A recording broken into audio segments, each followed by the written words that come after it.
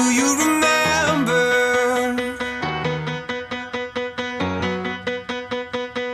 With your white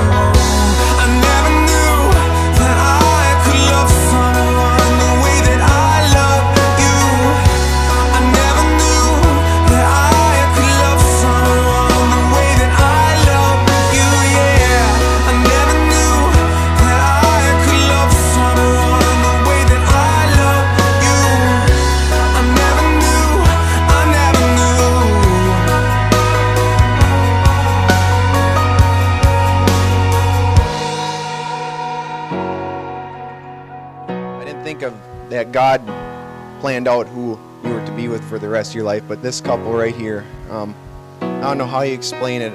Two people living so close, but in such different lives. You know, it's the truth. There's no doubt in my mind that God put you two together.